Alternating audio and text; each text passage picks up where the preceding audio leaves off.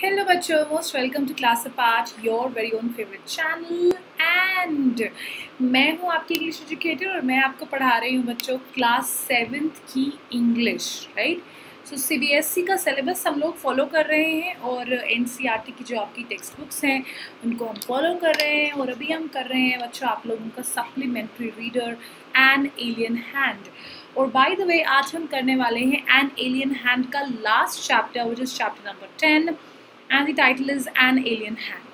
तो बच्चों class apart I am sure this this channel is definitely giving you a very very helpful experience because आप लोग जो हैं you know right before your exam आपके पास एक प्रॉपर रिविजन के लिए मटेरियल रेडी है घर बैठे बैठे कई बार ऐसा होता है अरे यार, कहीं हम एक बार फिर से इसकी क्लास अटेंड कर लेते हैं इस चैप्टर की तो शायद अच्छा होता तो वही चीज़, वही एक्सपीरियंस आपको क्लास अपार्ट से मिल रहा है and I am very sure it is giving you a class apart so बच्चों let's go ahead and you all can ace school exams with Unacademy की subscription use my code S S one zero two buy subscription then बच्चों of course आप सबको मेरा नाम पता ही है। शायद अगर किसी को नहीं पता तो my name Sonam Suran and I am your English educator and I am here to teach you फ़िलहाल क्लास सेवन की English right so Unacademy class six का जो टेलीग्राम लिंक है, वो इस वीडियो की डिस्क्रिप्शन बॉक्स में है। अगर आप लोगों ने ज्वाइन नहीं किया है तो जल्दी ज्वाइन देन इट इज़ बच्चों बग्स बाउंटी अगर आपको किसी भी एजुकेटर का कंटेंट इन अप्रोप्रिएट लगता है तो आप इसको रिपोर्ट कर सकते हैं। एंड हियर इट इज़ इसका भी लिंक डिस्क्रिप्शन बॉक्स में। Then is Unacademy ask doubt घर बैठे बैठे अनलिमिटेड डाउट्स पूछने का मौका मिलेगा आपको ठीक है? और uh, आपको जवाब में मिलेंगे video solutions in English and Hindi ठीक है? And you will receive your solutions बहुत ही इंस्टेंटली और बहुत ही accurate Now, how do you use Ask It Out? Go to the Unacademy app, click on Ask It Out, and take a picture of your doubt. फिर picture को click करने के बाद में आप लोग अपने पिक्चर को क्रॉप करें। क्रॉप करने के बाद में आप लोग सब्जेक्ट मैच करें। सब्जेक्ट मैच करने के बाद में you all can go ahead and send your question within no time you will get an answer चलो बच्चों let's study about an alien hand क्या है ये chapter what is it all about let's go and study okay by the way before that let me give you pretext well कई सालों पहले around 1975 में NASA ने एक स्पेस uh, मिशन किया था और उसका नाम था द वाइकिंग मिशन तो वाइकिंग मिशन का मेन एम था to find out if there is life on Mars तो उन्होंने अपनी दो uh, जो है स्पेस क्राफ्ट मार्स पे भेजे थे वाइकिंग वन वाइकिंग टू और uh, ये मतलब मेन जो उस मार्स जो ये मिशन हुआ था नासा के द्वारा। इसका यही मेन एम था टू चेकआउट अगर मार्स पे लाइफ है कि नहीं मतलब कोई वहाँ पे मतलब रहने लायक कंडीशन हैं कि नहीं। देन सेकेंड थिंग इज़ अब ये जो स्टोरी है बच्चों, ये है टाइलू के बारे में। एंड टाइलू क्या है? टाइलू जो है वो छोटा सा बच्चा है जो अपने पेरेंट्स के साथ रहता है एक किसी अलग प्लानट पे और ये रहते हैं अंडरग्राउंड ठीक है? सो प्लानट की सरफेस पे नहीं रहते अंडरग्राउंड रहते हैं। और टाइलो ने कभी भी सन नहीं देखा कभी भी मून नहीं देखा कभी स्टार्स नहीं देखे सिर्फ़ सुना है उनके बारे में। वो बहुत ही इंट्रीक्ड होता है। उसको बहुत होता है कि मैं ढूंढूँ मैं सन को देखूँ मून को देखूँ स्टार्स को देखूँ क्योंकि वो सरफेस पे तो रहते ही नहीं है। सरफेस के नीचे रहते हैं। सो so, uh, यही है बच्चों स्टोरी पूरी एलियन हैंड लेट्स सी बड़ी इंटरेस्टिंग सी स्टोरी है। मज़ा आएगा कहानी सुन के। चलो। Tilloo how often have I told you not to go that way but why does daddy go there every day because that is job Tilloo ना हो टाइलू जो है अपनी मम्मा से लड़ रहा है। हाँ, कि उसकी मोम उसको कहती हूँ मैंने कितनी बारी बोला है, वहाँ पर नहीं जाना है। तो बोलते बट पापा तो जाते हैं ना रोज़ वहाँ पे। तो then her his mom says कि या that's because it's his job that way was an underground passage Tailu's father went every day for work along that passage and every day he came back from that direction what lay at the end of that forbidden route तो टाइलू जो था, रोज़ अपने dad को देखता था कि उसके dad जो है, उस पैसेज के थ्रू जाते हैं और फिर यू नो वाप, वहाँ पे काम पे जाते हैं और वापस भी उसी रूट के थ्रू आते हैं। तो उसको बहुत ही मतलब उत्सुकता होती थी ये जान के। Used to be very very intrigued to find out कि एक्चुअली में उस पैसेज के उधर है क्या जो उसके पापा देखते हैं, जो ये देख नहीं पाता है। Not only Talu but a great majority of community would like to know Tailu's father was one of the selected few permitted go that way. अब वो जो रास्ता था not every one was committed to go that way right तो टाइलू जो थे टाइलू टाइलो के जो डैड थे, वो जाते थे he was one of those special people used to go that you know so बाकियों को भी बड़ा होता था जानने का, अरे यार, है क्या वहाँ पे? Okay okay the about conversation invariably took place between Tailu and his mother whenever insisted on following his father तो जब भी टालू मतलब यू नो ज़बरदस्ती करता था कि नहीं नहीं मेरे को पापा को फॉलो करना है तो डेफिनेटली एक कॉन्वर्सेशन होती ही होती थी टालू और उसकी मॉम के बीच में मतलब उसकी मॉम उसको रोकती थी टालू मानता नहीं था so this is how it used to happen Today, however, was different. Uh, Tailu's father was enjoying a siesta at home and Tailu managed to get hold of his security. तो आज क्या हुआ कि टाइलो के जो पापा थे वो siesta is a like a nice leisure walk उसके पापा कहीं गार्डन में वॉक कर रहे होंगे बाहर आ, मतलब घर पे कहीं वॉक कर रहे होंगे और आ, टाइलू ने टाइलू को जो सिक्योरिटी की थी अपने डैड की वो मिल गई तो उसने सोचा चलो भाई आज तो मौका मिल गया है मैं जाकर देख ही लेता हूँ वहाँ पर है क्या. Okay then evading his his watchful mother's eyes Tailu made his way to the forbidden passage तो उसने क्या किया कि अब छुपते छुपाते वो जो है वो पैसेज में चला गया और अपनी मम्मा से छुप छुप के पैसेज में चला गया। Okay a metal door barred his entry तो जैसे ही डायलू वहाँ पर गया तो एक मेटल का डोर था जिससे उसकी एंट्री रुक गई। तो okay but Tailu had watch his father slip the magical card into a slot but Tailu को याद था कि उसके जो डैड थे ना, वो एक ये जो कार्ड है मैजिकल ये उस स्लॉट में डालते थे और वो डोर खुल जाता था He did the same and the door opened noiselessly. तो उसने भी वही किया दरवाज़ा खुल गया A well-lit uh, passage seemed to beckon him. Beckon is like बुलाना हाथ से इशारा करना तो एक पैसेज था जो कि बहुत ही वेल लिट था तो उसको बड़ा ही मतलब इंटरेस्टिंग लगा इससे लगा कि वो पैसेज उसको बुला रहा है कि आ जाओ मेरे पास okay snatching the cart which had come out of another slot in the wall, Tyloo started his march along a gentle upward slope. For the passage led from the underground habitat to the surface of the planet. तो वो जो slope था वो जो passage था वो थोड़ा सा ऐसे ऊपर की तरफ़ था। वो टाइलू चलता गया चलता गया चलता गया वहाँ पे। तो uh, क्योंकि वो जो बेसिकली वो जो पैसेज था वो प्लानट के ऊपर ले जाता था। Tailu look forward to seeing the sun if it was daytime or the stars if it was night about which she had heard and read so much तो उसने सिर्फ़ सुना था सन और स्टार्स के बारे में पर उसने कभी देखे नहीं थे तो इज़ वेरी वेरी इंटरेस्टेड कि भाई चलो अब तो मैं सन और स्टार्स को देखूंगा आज But alas, that wasn't to be. Tyler was under had underestimated the security arrangements. Invisible mechanical devices had already detected and photographed the small intruder and sent his picture to the central bureau, where it was thoroughly checked. And before he had advanced ten paces, a strong hand fell heavily on his shoulder. Gently but firmly, he was escorted by the security staff back home to an anxious and angry mother. तो हुआ ये कि बच्चों, टाइलू बड़ा खुश था कि चलो भाई, अब तो मैं जाऊँगा और मज़े से जो है देखूँगा सब कुछ बट हुआ नहीं ऐसा और टाइलू जो है जैसे वो गया तो जाने लगा आगे तो मतलब उसकी जो वहाँ पे मेटल डिटेक्टर्स जो भी उन्हें डिटेक्टर्स रखे होंगे उस पैसेज में, वहाँ से उनको पता चल गया कि कोई ना कोई तो अननोन बंदा अंदर गुस्सा है तो उसके फ़ोटोग्राफ्स क्लिक हो गए, वो सेंट्रल ब्यूरो को पहुँच गए, वहाँ पे सिक्योरिटी वाले आ गए। और जैसे ही टालू जा रहा था तो पीछे से एक बंदा आया, उसने हाथ रखा और उसको जो है बोल दिया कि भाई मतलब उसको उठा के वापस घर में ले गए कि भाई, ये तो आपकी जगह नहीं है। घर पहुँचा तो उसकी मम्मी एज यूजल गुस्से में थी। She was ready to scold him now let's me explain him darling said his father just got up तो फाइनली उसकी मॉम उसके डैड आए उन्होंने बोला कि चलो मैं इसको समझाता हूँ कोई बात नहीं। Listen Tailu I work on a surface where an ordinary person cannot survive because the air is too thin to breathe and where temperature is so low that you could freeze to death तो उसके dad उसको explain करते हैं कि सुनो टाइलू मैं जो हूँ एक ऐसी जगह पे काम करता हूँ जहाँ पे हवा इतनी थिन है कि आप सांस नहीं ले सकते हो और um, कोई भी ऑर्डनरी बंदा वहाँ पे सर्वाइव नहीं कर सकता। तो डायलू पूछता है but daddy how do you manage to survive तो वो पूछता है बट आप कैसे सर्वाइव करते हो? Then he says because I go well equipped in a special suit with a reservoir of oxygen उसके डैड बोलते हैं, क्योंकि मैं जो हूँ, एक स्पेशल सूट पहन कर जाता हूँ वहाँ पे, एक बहुत ही वेल इक्विप होकर जाता हूँ स्पेशल सूट पहन कर जाता हूँ।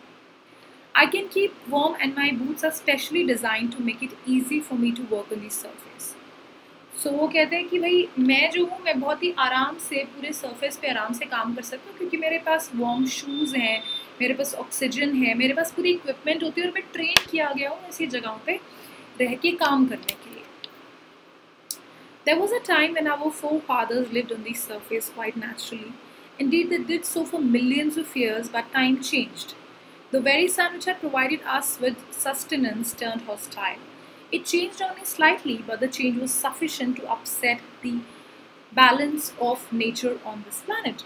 तो टाइलू के डैड बोलते हैं कि बेटा एक ज़माना था जब हमारे पूर्वज जो हैं फोर फादर्स रहते थे मतलब प्लानट के सरफेस पे और बहुत ही आराम से रहते थे जो सन था वो उनको लाइफ प्रोवाइड करता था बट विद टाइम क्या हुआ कि जो सन का थोड़ा सा ही एंगल शिफ्ट हुआ बट उस शिफ्ट की वजह से बहुत कुछ चेंज हो गया on the surface of the planet और अब हम लोग जो हैं अब हम लोग वहाँ पे सर्वाइव कर ही नहीं सकते First, the birds became extinct, the animals followed, the fish couldn't bear it anymore. We managed to survive only because of our superior technology.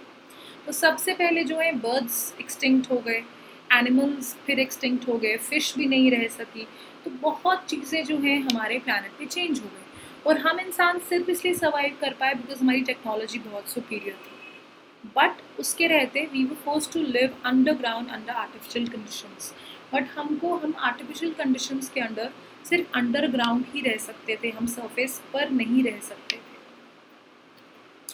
Thanks to the solar energy, we can generate sufficient power to make our life comfortable But machines which make this possible must always be in a good working condition. Some of them are on the surface. I belong to the team whose responsibility is to keep a watch on them and to service them. तो उसके dad बोलते हैं टाइलू के कि भाई बात ऐसी है कि कुछ ऐसी मशीन्स हैं जिनकी मदद से हम लोग आराम से रह पा रहे हैं यहाँ पे और सोलर एनर्जी इतनी है कि हम लोग यहाँ पे सर्वाइव कर सकते हैं अदरवाइज़ हम लोग यहाँ पे रह ही नहीं पाते। और वो जो मशीन्स हैं वो प्लानट की सरफेस से पड़ी और मैं उस टीम का हिस्सा हूँ जो उस मशीन्स की मतलब वो मशीन ढंग से चल रही है, नहीं, इस चीज़ का खास ख्याल रखता है। So then you know Tailu says daddy can I join the team when I grow up of course if you want to said his father but for that you must be a good boy and do your parents do as your parents tell you his mother had as usual the last word तो उसके वो बोलता पापा मैं join कर सकता हूँ क्या तो बड़े होकर तो उसकी मदर एज यूजल बोलती है हाँ हाँ क्यों नहीं कर सकते हो बट तुम्हें उसके लिए अच्छे good boy have to be good boy उसकी मॉम बोलती Next day, when Talu's father went to work, he found out the control room full of excitement. People were crowded round big, uh, round uh, the big TV screen. Uh, it showed a dot in an otherwise clear background. This isn't a star, for it's changing its position. Our computer has given a trajectory for this thing. It's heading towards us. The supervisor of the last shift explained.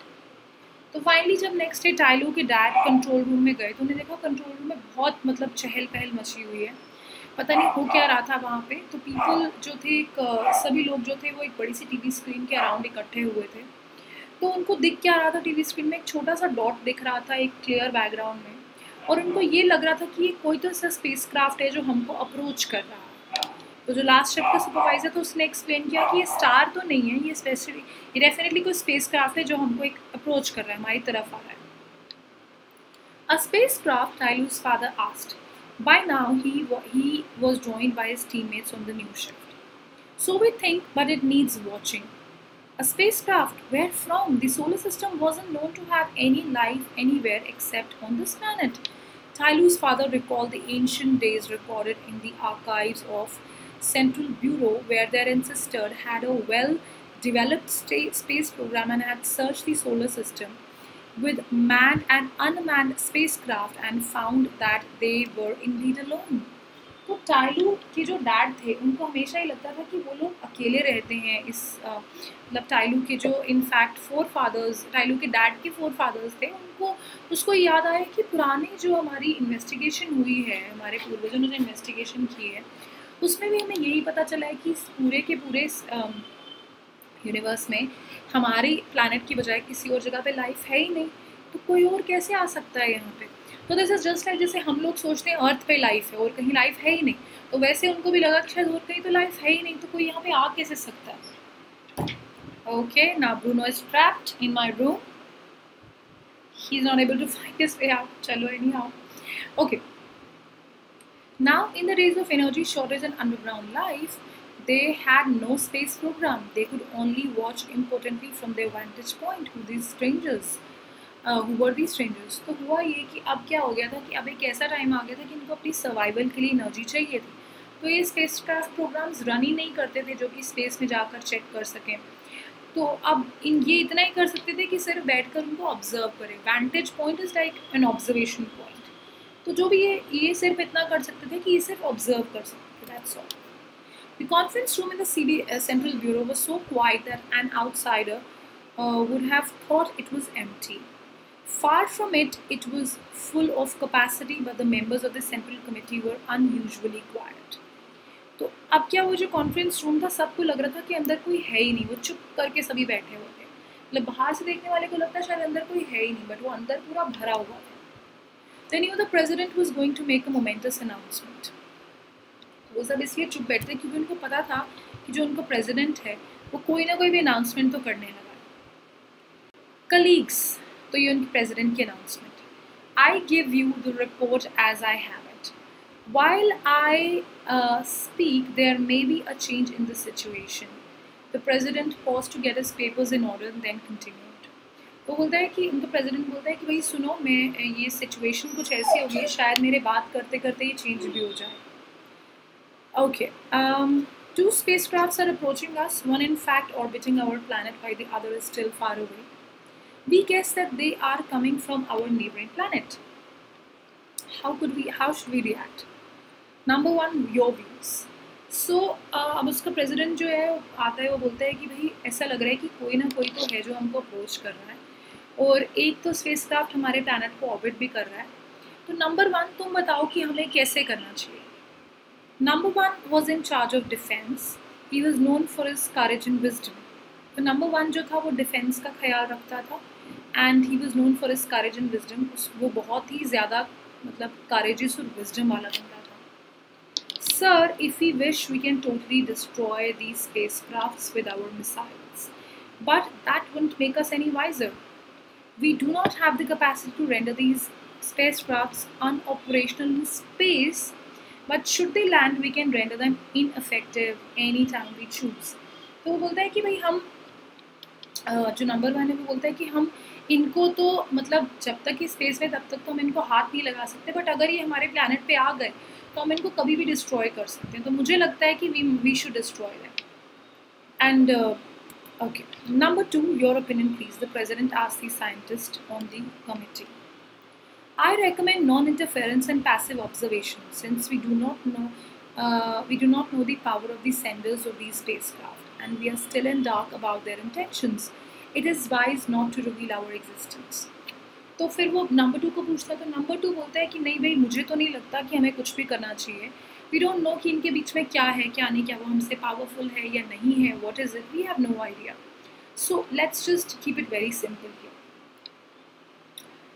if you observe the spacecraft okay तो वो बोलते हैं कि हमें सिर्फ़ इनको observe करना चाहिए और कुछ भी नहीं करना चाहिए। ठीक है? ओके नंबर थ्री और सोशल साइंस तो नंबर थ्री जो था, फिर उसका ओपिनियन पूछा प्रेसिडेंट ने। नंबर थ्री एक सोशल साइंटिस्ट था यूजुअली वो नंबर टू के साथ एग्री नहीं करता था बट इन फैक्ट इस बारी he agreed I agree with number two sir in fact I will go so far to say that we should keep our surface activities to minimum thus creating the impression that there's no life on this planet. Fortunately, our surface conditions do give that impression. So so, वो number three बोलता है कि भाई मुझे भी लगता है कि हमें कुछ भी मतलब एक्टिविटी करनी नहीं चाहिए जो भी ये एलियन स्पेस क्राफ्ट आया है इसको ऐसा इंप्रेशन देना चाहिए कि यहाँ पर कुछ है ही नहीं मतलब there is no life on this planet at all okay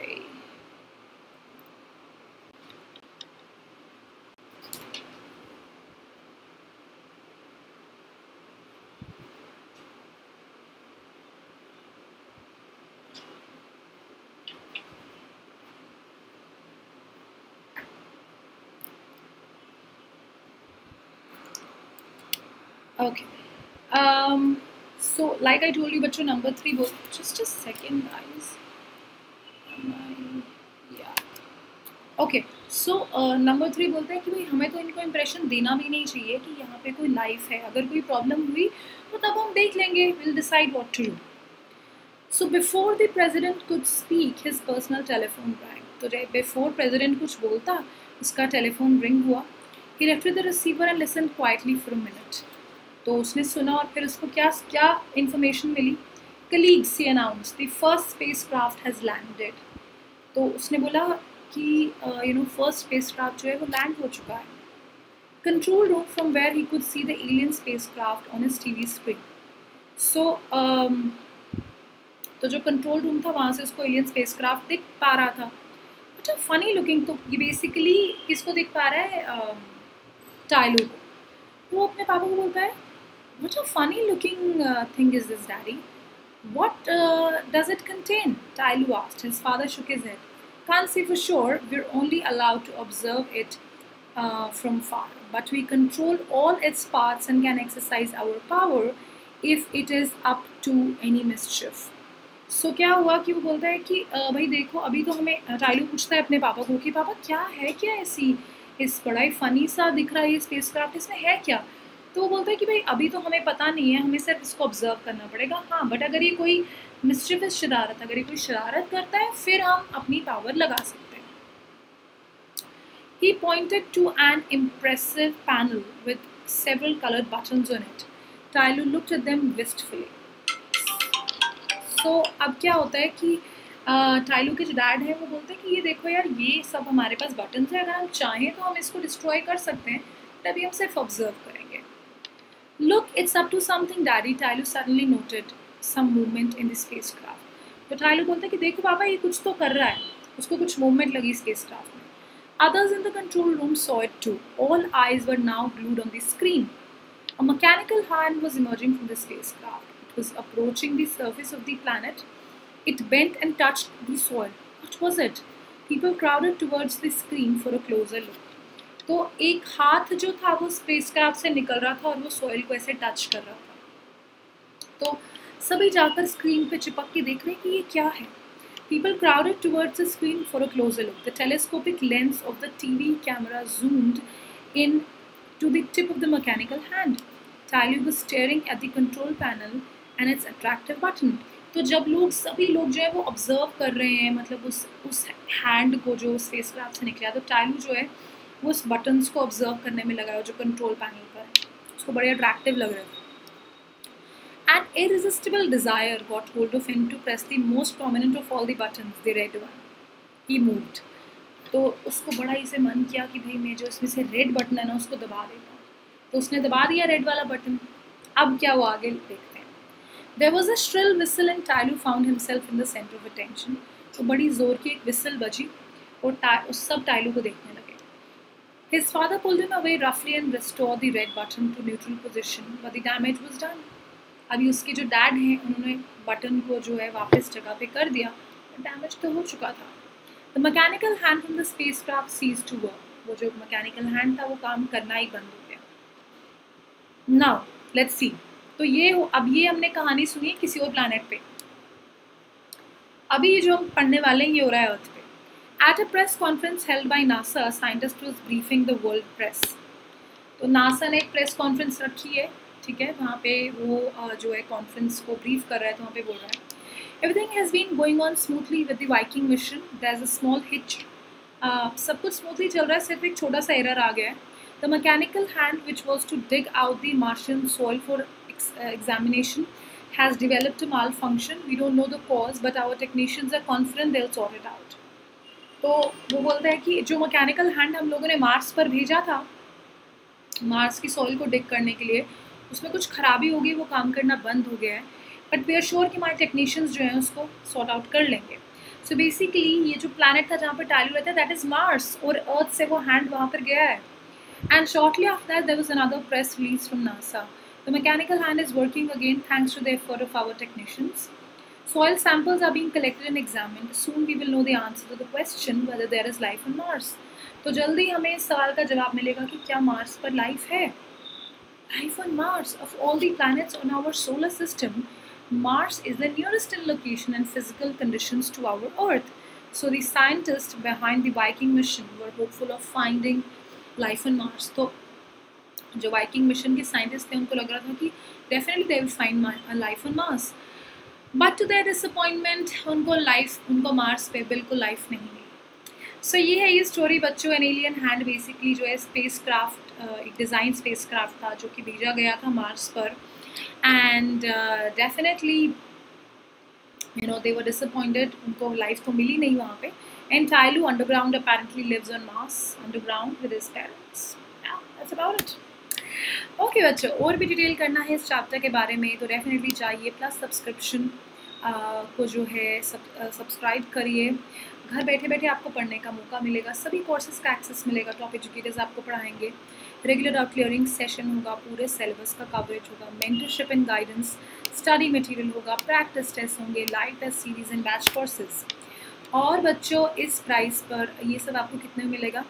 दो साल, पच्चीस हज़ार अठारह महीने, बीस हज़ार, पंद्रह महीने, अठारह हज़ार और इस प्राइस पर दस percent discount using my code S O S one zero then बच्चों आइकॉनिक सब्सक्रिप्शन की क्या क्या फीचर्स है? You have a personal mentor doubt solving session weekly report card parent connect study plan and all the benefits of Plus subscription and price दो साल for eight thousand eighteen months thirty five thousand fifteen months thirty two thousand और इस price पर दस percent discount using my code S O S one zero And don't forget to, SP, uh, to use SPSO 10 to unlock free special classes and test series on the Unacademy app.